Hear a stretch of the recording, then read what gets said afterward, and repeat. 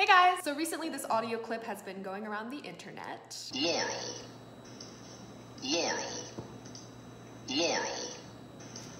Laurel. Obviously, it's Yanny. The reason this clip went viral is that it's an auditory illusion. So some people hear the word Yanny, like me, and other aliens who are masquerading as humans hear the word Laurel. Basically, it's the 2018 version of the Great Dress debate. The question is, why? There are a couple of different theories, but other than the alien one, I think my favorite is the Rubin's vase theory. For those of you who aren't familiar, Rubin's vase is a famous visual illusion. It looks like this.